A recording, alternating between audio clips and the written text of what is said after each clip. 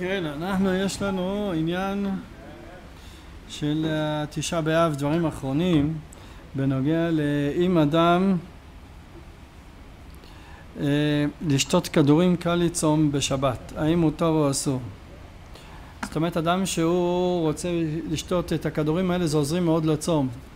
אז כל הרבנים מתירים, הרב מרדכי אליהו אומר שזה יותר טוב מוויטמינים.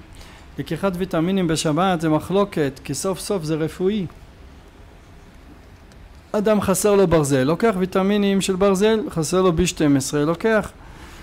אז אכפת לי אם זה טבעי או כימי, אבל זה הצד להחמיר. הצד להקל, סך הכל יש פה דברים מרוכזים של טבעי, אז לכן זה צד אולי להקל. אבל בכדורים שקל לצום אין פה שום חולי, שום דבר, זה מאכל בריאים לכל דבר, אז צריך להיות מותר. תזכה למצוות. אבל הרב, ככה הרב אויבך אומר, והרב אה, מרדכי אליהו, וגם ביביע העומר יש, חלק ז' סימן נ"ד, כולם מתירים. היחיד שמחמיר בזה מאוד, והוא מאוד צודק, זה הרב אלישיב. הוא אומר שיש בזה איסור הכנה משבת לחול. זאת אומרת, מה לך ולשתות כאלה כדורים רק בגלל שמחר צום, אז זה נקרא איסור הכנה. אז אם אפשר להימנע זה עדיף. במקרה שאדם אם הגענו למצב הזה, אז זה יותר קל, ואני אגיד לך מקרה אחר, אני מכיר בן אדם שהוא לא צם שום צום, כי יש לו מיגרנות קשות. וגם בתשעה באב הוא פטור, אבל הוא רוצה לצום. אבל הוא חייב לשתות בשביל זה אקמול לפני הצום. כדי שיהיה מסוגל לצום, אז לפני שזה מתחיל, הוא חייב. עכשיו, לשתות כדורים זה כאן במקרה יותר מורכב. לשתות אקמול בשבת זה אסור, שחיקת סממנים. איך, איך, איפה, לאט לאט. איסור בשינוי. מה שהתירו בשינוי, התירו בשינוי לחולה שאין בו סכנה, התירו איסור דרבנן בשינוי. זה ההיתר של המהרשם. ואיך אפשר לבלוע בשינוי? אז בת... מה? לא, זה משהו אחר. מה? מה? כן, ישים את זה בתוך אוכל ויאכל את זה אגב אוכל, כן. ככה אומר הרב אלישיב. ישים את זה בלבן, במשהו כזה. עכשיו, אבל צריך לשים את זה מערב שבת, לא בשבת. למה? גזירה של שריקת סממנים. הגמרא אומרת שאם אדם משרה את זה מערב שבת, מתוך שהוא משרה את זה מערב שבת, זכורו. ככה הוא זוכר שאין לא לשחוק סממנים. בזה שהוא שם את זה מערב שבת, אין גזירה של שחיקת סממנים. בסדר? אז אם זה, בלי זה הוא לא יכול לצום, המקל יש לו על מי לסמוך. עכשיו אנחנו, יש לנו את העניין של ההבדלה. ההבדלה, יש, אנחנו לא עושים הבדלה במוצאי שבת, עושים הבדלה במוצאי תשעה באב. צריך לדעת שיש הבדל בנוסח בין מי שעושה הבדלה בתשעה באב, שאז חולה, שעושה הבדלה בתשעה באב, שיש לו נוסח מיוחד, שהוא לא אומר שום דבר, לא אצליחנו, לא אצליח דרכנו, אין ברכות בתשעה באב. רק אומר בורא פרי הגפן, מאורי האש ו- וזהו, והמבדיל בין קודש לחול, ואין בסמים. אבל במוצאי תשעה באב ביום ראשון בערב אומרים את כל הפסוקים, הבדלה רגילה לכל דבר. זה הבדל שיש לנו בין מוצאי תשעה באב לבין תשעה באב בנוסח ההבדלה. עכשיו בנוגע להבדלה, יש לנו שיטת הרמב"ן, וככה פוסק גם להלכה הרדב"ז, שאם אדם לא עושה הבדלה ביום ראשון, לא עושה הבדלה בכלל. לכן מבחינתו אין דבר כזה מוצאי תשעה באב לעשות הבדלה. אלא חכמים עקרו את ההבדלה במקרה כזה אין הבדלה. אם אין אפשרות ביום ראשון לעשות לא עושים. הלכה לא ככה. אבל אבא היה אומר שצריך להשתדל להרוויח את השיטה הזאת. ואם יש לך חולה שעושה הבדלה בתשעה באב עדיף לצאת ממנו ידי חובה מאשר שאתה תעשה הבדלה במוצא תשעה באב. אז מה אם אתה סבב? אה, ברוך אתה אדוני אלוהינו מלך העולם שהכל נהיה בדברו זה נכון. הבדלה, בדרך כלל אנשים כאלה הם צריכים לחכות לבוקר כדי להצטרך לאכול ולשתות. אנחנו אומרים לו עדיף שתעשה הבדלה במוקדם, בלילה, תוציא רבים ידי חובה בשביל זה. אם באמת אין לו מי להוציא ידי חובה, אז זה בסדר. אנחנו מרוויחים את זה בבית הכנסת. אם יש לי, הוא ישתה, מה זה מי ישתה? הוא עושה הבדלה, הוא חי בהבדלה, מה אתה רוצה? לא, אין חיוב לצום. ברגע שחולה אין לו חיוב לצום. יש איזו תשובה בכנסת הגדולה שחולה אין לו חיוב לצום אפילו קצת. בהתחלה סבא אמר שצריך לצום עד שהוא יאכל, הרב משאש העיר לו שבמפורש בכנסת הגדולה כתוב שלא. יש בחוות דעת חלק אה, ג' סימן מ' והוא חוזר בו באור תורה בשנת תשנ"ב העיר לו ואז בחזון ודאי באמת הוא כבר כותב הפוך. אבל בכל זאת לכתחילה בעלמא אומרים לו לחכות ולצום כמה שהוא יכול. אבל אם יש לנו פה בבית הכנסת איזה חולה כזה אנו נזכה את הרבים ונעשה הבדלה להוציא את כולם ידי חובה. אבל אבא אמר כל זה דווקא על מי שאין לו אישה בבית להוציא אותה ידי חובה. אבל מי שיש לו אישה בבית שהוא צריך בהר בלילה להוציא אותה ידי חובה כזה שלא יצא ידי חובה. למה? כי יש מקום לומר שנשים אסור להם לעשות הבדלה במוצאי שבת במוצאי תשעה באב. למה? ככה אבא אחז וגם יש ברבבות אפרים ועוד ככה פוסקים שאומרים כי יש פה ספק ספקה להחמיר. שמהלכה כרמב"ן והרדב"ז שאין הבדלה. ואפילו אם תאמר שכן שמן נשים הבדלה במוצאי, במוצאי שבת זה נחשב מצוות עשה שהזמן גרמה. זה מחלוקת מרן ורמה. האם הבדלה בכל מוצאי שבת אישה חייבת או לא? לפי מרן היא חייבת וזה דאורייתא. לפי הרמה היא פטורה וזה מצוות עשה שהזמן גרמה אז זה כאן שזה מתחבר שתי המחלוקות ביחד. מוצא תשעה באב. יחד עם המחלוקת אם בכלל אישה חייבת בהבדלה אז יש כמו ספק ספקה להחמיר. לכן יש עדיפות גדולה שאישה לא תעשה הבדלה במוצא תשעה באב אלא שתעשה בעלה יעשה לה. כן. לא לא לא לא לא לא. רגע לא להסתבך לא להסתבך. לא להסתבך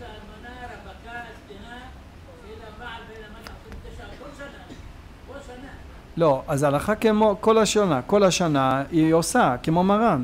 מרן פסק שכן. יש לנו דעת מרן שזה דאורייתא, ומרן אומר שאישה יכולה לעשות הבדלה. היסוד של המחלוקת הוא ככה, כי יש לנו שמור וזכור. למה בקידוש אישה חייבת? מי שישנו בשמירה, ישנו בשכירה. לאט לאט, לאט לאט, בסדר? מי שישנו בשמירה, ישנו בשכירה. מי שחייב בשמירת שבת חייב בקידוש. השאלה אם גם הבדלה בכלל קידוש או לא. לפי מרן הבדלה וקידוש דבר אחד ואישה חייבת כי חייבת בשמירת שבת.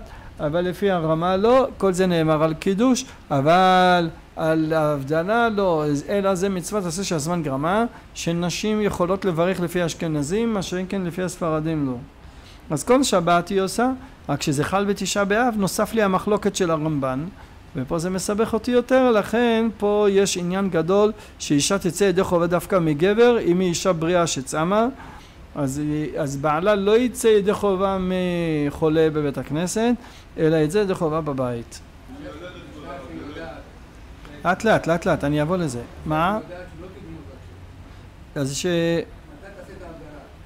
אפשר במוצאי שבת, אפשר ביום ראשון, לא משנה. אפשר ביום ראשון.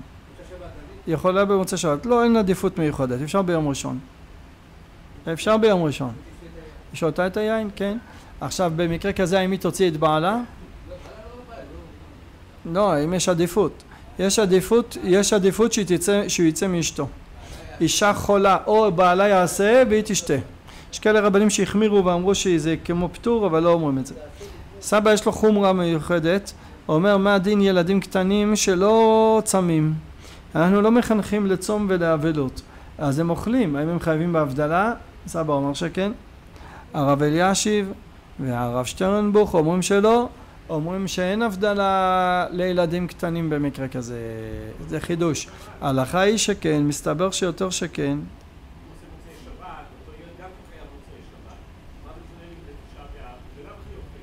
זו השאלה, אם עקרו את ההבדלה לגמרי או לא, זה בקיצור להלכה להלכה ילד חייב בהבדלה.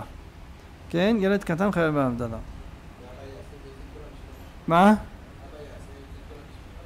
לא, אסור, אסור. יפה. הוא שואל אם ככה למה לא תקנו חכמים שאנחנו נעשה הבדלה וילד קטן ישתה את הכוס על זה גזרו חכמים משום אטלי מסרח ילד יגדל הילד יגדל ויגיד אני זוכר שהייתי קטן אני עשינו הבדלה בבית הכנסת עשינו הבדלה אז, אז, והוא לא ידע לחלק ולהבין שלא. ברגע שקטן עושה הבדלה עבור הגדול זה התלה מסרח אבל ברגע שקטן עושה עבור עצמו אין בזה התלה מסרח הוא מבין שהוא קטן ושהוא גדול הוא יודע שעכשיו הוא אוכל בתשעה באב כי הוא קטן שהוא יגדל אז הוא יפסיק לאכול. אז אותו דבר בהבדלה. אבל בנוגע שהוא ישתה לנו את היין זה אסור. מה? לא, אבל אתה רואה שחכמים גזרו על זה. לא, ברית זה מחלוקת אחרת. בנוגע לברית זה מחלוקת ראשונים. האם גזרו על ברית התלמיסרח או לא? בנוגע למוצא שבת רגיל כזה שחל בו תשעה באב התלמיסרח זה מצוי ויש חשש. ברית בצום או בתשעה באב או בכיפור האם יש התלמיסרח או לא? מחלוקת ראשונים.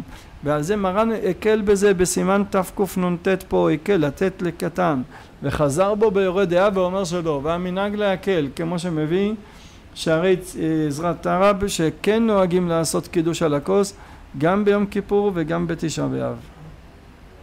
אז uh, המנהג כמו הדעה הראשונה של מרן ולא כמו מה שמרן חזר בו. מה? כן, ברס המחי הוא אומר אחרת. אבל המנהג הוא כן לעשות. אבל כי כאן אין התלמיסרח. נכון, אז זה גם סתירה במרן. האם יולדת תוך שלושים יום צמה? פה מרן כותב לנו שיולדת תוך שלושים יום היא לא צמה ולכן היא תשתה את היין. חולק על זה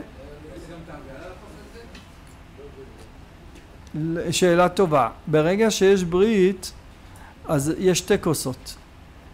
שיש גם ברית נדחית, כן? יש שתי כוסות. כוס ראשונה צריך לעשות לפני הברית, עושים הבדלה. כוס שנייה עושים את האשר קידש ידידים מבטן. צריך שיהיה שתי כוסות, אחד להבדלה ואחד לפה. יש מחלוקת גדולה בנוגע לקידוש.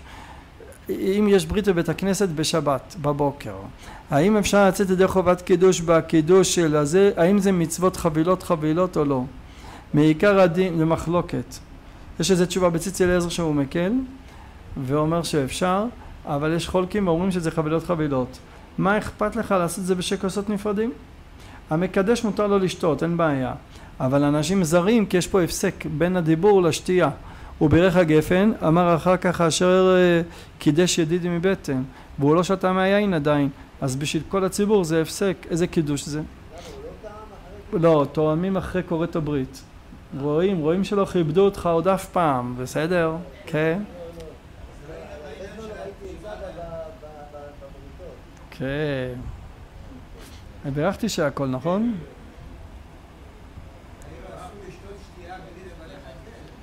מה?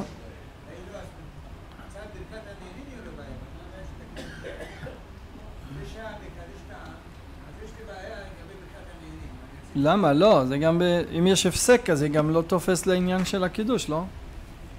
אם שתו, עשו... בקיצור, זה גם שאלה של חבילות חבילות. מה אכפת לנו לעשות עוד כוס? כאילו, מה... מה הקטע? אתה אחד עושה את הקידוש, אה, הוא עושה קידוש. להוציא את הרבים, זה הכי טוב ככה. בסדר. אבל uh, בנוגע להבדלה זה יותר חזק. בסדר? במקרה כזה עושים קודם כל הבדלה, אחר כך אשר קידש. אז קודם האישה יולדת, היא שותה שתי כוסות יין, זה קשה. היא צריכה לשתות הבדלה קודם, ואחר כך אה, עוד כוס של ה... אה, זה. לכתחילה יש מחלוקת אם צריך לשתות רוב כוס באשר קידש ידיד. יש רשב"א שמביא אותו בבית יוסף ואומר שלא, שלא צריך ל... לא צריך לשתות רוב כוס, אבל הרבה חום, רוב הראשונים מחמירים בזה. הטור מחמיר ויש לנו עוד כמה ראשונים שמצאנו שמחמירים וכדאי להחמיר לשתות רוב כוס, בסדר? שמישהו ישתה רוב כוס זה טוב. העניין פה תשעה באב. תשעה באב זה חומרה שבא לידי כולה. הרי אסור לשתות יין בתשעה באב, לא תשעה באב ולא בעשירי. אז אתה מחמיר, אומר לי תשתה רוב כוס ברגע שלא צריך. מספיק טעימה. פה זה חומה שבא לידי כולם, משתי הכיוונים יצאת.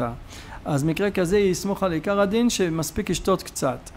חכם אחד אמר שמסתבר שאם מותר לשתות יין לא מותר לגמרי. למשל שישתה רק לא לגמר אבל לא רביעית אבל לא את כל הכוס בשביל מה לשתות את כל הכוס? הרי אסור לשתות יין בתשעה התירו לך לצורך מצווה. אז למה שתשתה את הכל? כן. ישתה רביעית לא ישתה רביעית לא ישתה יותר. לא. בהבדלה חייבים לשתות רביעית. ואם לא לא יצא ידי חובה. לרוב הפוסקים אלא מה? אני מדבר על אשר קידש, אבל, או ישתה רביעית, אבל לא את כל הכוס. כוס זה 200, זה פי 2, אז שישתה רביעית, למה צריך לשתות את כל הכוס? מובן? לא, לא לשתות יין מיותר. רוב רביעית, אבל הוא יסתבך עם ברכה אחרונה, אתה יודע, שלא יהיו לו בעיות גם עם זה. אז שישתה רביעית ויהיה לו ברכה אחרונה ויגמור, אבל לא שתי רביעיות, בכוס רגילה יש שתי רביעיות. למה ישתה שתי רביעיות יין? מה זה פה? זה תשעה באב? יש חידוש גדול של הרב מבריסק, שהוא רצה לחדש, שבתשעה באב מותר לאכול בשר ולשתות יין למי שחולה. למה? אומר שבערב תשעה באב אסור מדינא דגמרא משום סעודה מפסקת כי זה כמו מי שמתו מוטל לפניו. מה זה מתו מוטל לפניו? אונן. אונן אסור בבשר ויין, אבל אבל מותר בבשר ויין. אבל מותר. אז אומר בערב תשעה באב זה דין אונן, תשעה באב זה דין אבל. אבל זה לא נכון. יש מפורש בבית יוסף אומר שאומרים נחם בתשעה באב. למה אומרים נחם בתשעה באב? אז יש כאלה אומרים רק במנחה ולא אומרים בשחרית ומנחה, יש הרבה ראשונים כאלה. למה? וככה נהגו רוב הספרדים. התימנים, המרוקאים, החלבים ובצפת ככה נהגו, שלא, כמו בשביל סדר היום, לא היו אומרים רק במנחה. וגם בבגדד, רוב הספרדים ככה נהגו רק במנחה. למה? בגלל שעד מנחה זה כמו שמתו מוטל לפניו, ובמנחה יש פסוקי נחמה זה כמו שנקבר. אז מפורש אתה רואה בבית יוסף משם הראשונים הפוך. וככה ההלכה שיש איסור בשר ויין גם בתשעה באב עצמו ואין הבדל. אנחנו הספרדים יש לנו איסור בשר ויין גם בעשירי כל היום כולו עד השקיעה. אבל אשכנזים יש להם כולה עד חצות. אצל הבן איש חי הבגדדים נהגו להתיר לגמרי. אצלהם היה ש... אוכלים בתשיעי. כן. אוכלים בעשירי, טוב. אין לנו עניין. אנחנו אומרים נחם בכל השלוש תפילות. אנחנו אומרים שלוש תפילות נחם.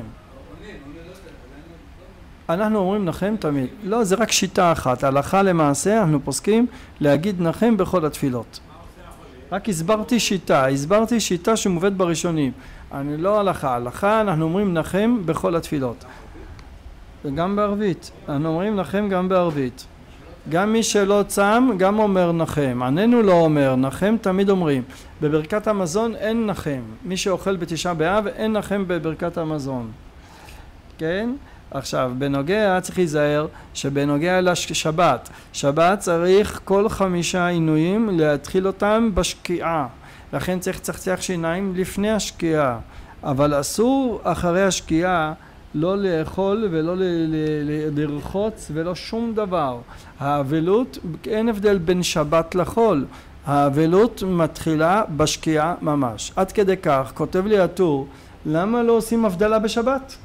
הרי כל כך נדחק הרמב"ן ועוקר לי דין ההבדלה, תעשה הבדלה בפלג המנחה. אומר הטור, אם תעשה הבדלה בפלג המנחה, אסור לך לשתות את היין, כי חל עליך דין של תשעה באב כבר. זה שבת גמור, זה יום גמור, אבל היות שעשית הבדלה, אז התחייבת, התחייבת בתשעה באב. אני לא לומד עכשיו הלכות, מה אני לומד מפה? אני לומד מפה שברגע שחל תשעה באב, הגיעה שקיעה, אפילו שזה שבת וזה בין השמשות וחייב חטאת, אבל עדיין חייב, חל דיני תשעה באב. לא לערבב את הלכות שבת עם הלכות של תשעה באב. ואפילו אם אדם מתפלל ערבית בפלג המנחה, כמו שמביא המשנה ברורה, התחייב בהלכות תשעה באב, הוא לא יכול להישאר עם נעליים. אלא זה לא קשור להלכות שבת, הלכות שבת זה הלכות שבת. ולהלכות של אה, תשעה באב זה תשעה באב. אלא בשקיעה אסור לאכול אחרי זה כלום. היום בירושלים השקיעה תהיה 49, בוא נגיד ב-45 לא אוכלים, לא שותים, לא מצחצחים יותר, מתחילים את ההלכות וזהו. מותר, איך מצחצחים? איך מצחצחים בשבת? מה הבעיה? משחה, מחלוקת, להלכה ממלאים את הפה במים, תשמע טוב, ממלאים את הפה במים ואז אתה מכניס את המברשת עם המשחה עם המים בפנים ואז זה לא מתמרח על השיניים אף פעם וככה זה פטנט לפתור בעיות או נוזלי בסדר? כן, אנחנו מחמירים לחכות לצאת שבת שזה יוצא לא לפני 26 וחצי לא מחליפים בגדים אחרי 20 דקות אלא אחרי 40 דקות, 36 דקות, מחכים לצאת שבת מה שכתוב בחזון ודאי 20 דקות זה, זה לא מובן. הוא עצמו אמר, סבא אמר לרב שלמה בן עזרי לא להקל בזה. צאת שבת זה 36 דקות ולא להקל בזה. זה תמוה מאוד מה שכתב שם להקל בזה. בנוגע לאמירת תתקבל. במוצאי שבת הזה חל מוצא שבת הזה חל, אה, שבת במוצאי שבת, מרן אומר לא לומר ויהי נועם. למה? בגלל שזה נותקן על, על המשכן, יהי רצון שתשרה שכינה במעשה ידיכם, ועכשיו אנחנו בחורבן. אבל לפי האריזל צריך לומר גם במוצאי שבת. למה? יש לנו עניין להמשיך קדושת השבת לימות החול, במעשה ובדיבור. במעשה זה על ידי הבדלה, בדיבור זה על ידי וינום. על ידי זה אנחנו ממשיכים את קדושת השבת לתוך החול. לכן במקרה כזה, גם באף שחל בשבת צריך לומר. אז מה הפתרון? עושים ככה, גומרים את התפילה, אומרים יהי שם, ופסוק אחד בלבד, ויהי נועם. השם אלוקינו עלינו, כוננהו קדיש תתקבל. מה זה הקדיש תתקבל? למרות שהבית יוסף אומר שבלילה לא אומרים קדיש תתקבל, אנחנו אומרים קדיש תתקבל, כי הרשש אומר שלא משנים מסדר התפילה כלום. אחרי קינות אסור לומר תתקבל, על שם גם כי אזעק ואשביה שתם תפילתי, אנחנו אומרים קדיש תתקבל כדי להרוויח את הרשש. אז אנחנו עושים את הפטנט הזה, גומרים שמונה עשרה, אומרים תתקבל. אומר יהי שם ויהי נועם פסוק אחד, לא שובה, לא יושב בסתר, שום דבר לא אומרים, רק פסוק אחד, ויהי נועם וקדיש תתקבל. אחר כך אומרים איכה וקינות, ואחר כך אתה קדוש ותתקלך ארבע ומותנה קדיש אחר. אין, גם אסור לשמור רבנותם, אסור, זה חומש בא לידי כולה.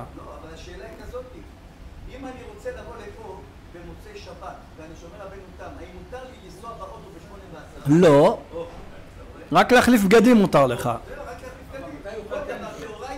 לא יכול לנסוע. הוא יכול לנסוע רק אחרי רבנו תם. כן. נכון, ההלכות נשארו אותו דבר. כן. מה בנוגע ל... בבוקר, בבוקר יש, נו נו חבר'ה שתי דקות, בבוקר יש לנו בעיה עם הפיוט עליך לי אבכה יומם ולילה. הרב בן ציון אבא שאול מפקפק על זה, איך אפשר עם תפילין לומר את הפיוט הזה? אסור לומר קינות עם טלית ותפילין. שינינו את ההלכה, שינינו את המצב, התחלנו להניח תפילין, והשארנו את הקינות אחרי התפילה בגלל זה. אבל איך, את הפיוט הזה שכחו להוציא אותו. ולכן יש לנו בעיה עם זה. לכן עדיף לא לומר את הפיוט הזה. להוציא ספר, אסור לומר קינות עם תפילין. טלית גם. מוציאים גם את הטלית בשעת... לא, לא. נשתדל להוציא את הטלית גם כן לקינות. כן, מהר. אחרי הרביעית אומרים ויהי נועם, פסוק אחד, ויהי נועם קדש תתקבל. לא להגיד שובה, לא להגיד יושב בסתר, שום דבר. רק פסוק אחד אומרים, ויהי נועם קדש תתקבל. בסדר? ובבוקר אנחנו אומרים תפילה רגילה, ודאי אומרים קדש תתקבל. הפיוט עליך לי תוקע אותנו. מה? בלילה לא אומרים, אין גאולה, רק בבוקר אומרים, בלילה לא אומרים. לא חצי, אנחנו אומרים שלם, כדי להרוויח, איפה? בלילה? אנחנו לא אומרים חצי, לא כמו כל מוצאי שבת. את החצי עושים אותו שלם, כדי להרוויח את הרשש, להרוויח לומר, תתקבל גם בלילה. בזה הרווחנו את כל השיטות, כן? בצורה כזאת יעשה. מעוברות אנחנו אומרים שלא צמות בתשעה באב, מ-12 שבועות והלאה. מחלוקת, אנחנו לא אומרים. בלילה גם... מה אתה אומר? זה מה זה יפה הפיוט הזה, חבל עליו, נכון? אבל יש לנו בעיה עם התפילין, אסור עם תפילין. אפשר. קשה מאוד. כן, אור לציון אומר ככה לעשות. אוקיי, אבל כל הציבור לא עושה את זה. כולם. כולם. ומה אחר כך יש לי עוד בעיה קטנה, זה התתקבל. אם אמרת איך אתה אומר תתקבל? מרן אומר בבוקר אומרים תתקבל כי מסיימים עם פסוקי נחמה. אלה שאומרים את הקינות באמצע התפילה, כמו המנהג המקורי שהיה, אז הם מסיימים עם פסוקי נחמה ואומרים תתקבל על פסוקי נחמה. אבל אנחנו שאנחנו משאירים את הקינות לאחרי התפילה ואמרת חלק מהקינות עליך לי באמצע התפילה, איך אתה אומר תתקבל? מבין את השאלות? זה לא ראיתי מישהו ששואל את זה. בקיצור, אני חושב שאני לא אומר את זה כבר, לא יודע. משהו פה לא מסודר לנו, יש לנו פה איזה שינויי מנהגים שלא סידרנו את השינוי עד הסוף. לכן אה, זה פיוט שחבל עליו, אבל אה, יש לנו בעיה פה לפתור בעיות. רבי חנניה בן הקשה אומר